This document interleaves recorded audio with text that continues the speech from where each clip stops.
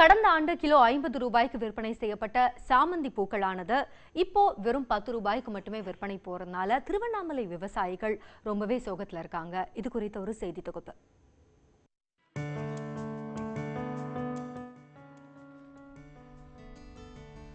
திருவண்ணாமலை மாவட்டம் விவசாயத்தை மட்டுமே பிரதான தொழிலாக கொண்டுள்ளது. இங்கு நெல் கரும்பு மணிலா போன்ற பயிர்கள் அதிக அளவிலும் உளுந்து மொச்சை காராமணி போன்ற தானிய வகைகள் ஆங்காங்கே பயிரிடப்பட்டும் வருகின்றது.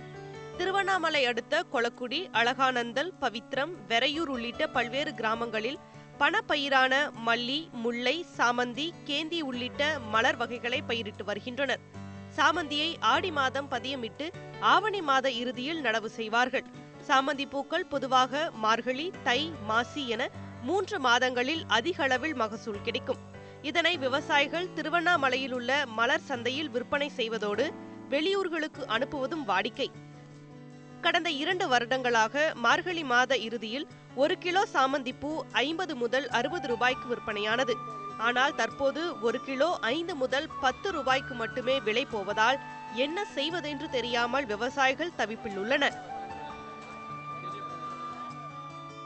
அது போல் அந்த பூ பத்து கிலோ பத்து பேர் இட்டு வந்து பெருசாக பைத்தாறு ஐநூறுரூவா அந்த பெருக்கிற பூ அந்த ஐயோ வரல. கஸ்டமர் கூலி கொடுக்கும்போது சரியாக போடுது. நான் எந்த விதத்தில் அப்புறம் கூலி பார்க்குறது? அந்த பூ பிரித்து ஆளுங்களுக்கு கொடுக்குறதா? எங்கள் வயிற்றுக்கு என்ன சாப்பிட்றது? நாங்கள் விவசாயம் பண்ணுறது சொட்டி சொட்டி இருக்கிறோம். ரெண்டு மடம் மூணு மடம் நாலு மடம் நைட்டு பொழுது தூங்காத இறச்சிக்கிறோம் எங்கள் சாப்பாட்டுக்கு வழி இல்லாத ரொம்ப கஷ்டமாக இருக்குங்க. அறுவடைக்கு தயாராக உள்ள பூக்களை பறிக்க கூலி கூட கொடுக்க முடியாத நிலையில் அடுத்து என்ன செய்வதென்று தெரியாமல் விவசாயிகள் கலங்கி போயுள்ளனர். கிலோ கிலோ அஞ்சு ரூபா கூட போக மாட்டேங்குதுங்க. நாங்கள் கிட்டத்தட்ட இது ஐம்பது சென்ட்டுக்கு இருபது கன்று பத்தாயிரம் ரூபாய் செலவு எல்லாம் ஒரு முப்பதாயிரம் ரூபாய் செலவு பண்ணி வச்சுக்கிறோங்க. இது வரைக்கும் ஒரு ஐயாயிரம் ரூபாய் கூட நாங்கள் பூ பெரியலைங்க நாங்கள் இந்தமாரி விவசாயம் பண்ணி எப்படிங்க நாங்கள் என்னங்க பண்ணுறது நாங்கள் சாமந்தி பூக்களுக்கு அரசு உரிய விலை நிர்ணயம் செய்து கொள்முதல் செய்வதோடு நிவாரண உதவியும் வழங்க வேண்டும் என்றும் விவசாயிகள் கோரிக்கை வைக்கின்றனர்.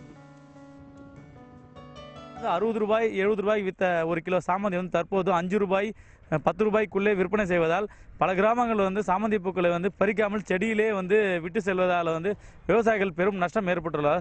ஆகவே அரசாங்கம் வந்து இந்த பூக்களை வந்து நேரடியாக கொள்முதல் செய்து அதுக்கு ஒரு விலை நிர்ணயம் செய்ய வேண்டும் என்று விவசாயிகள் கோரிக்கை விடுத்துள்ளனர். நியூஸ் எயிட்டின் தமிழ்நாடு. செய்திகளுக்காக திருவண்ணாமலையின் சதீஷ்.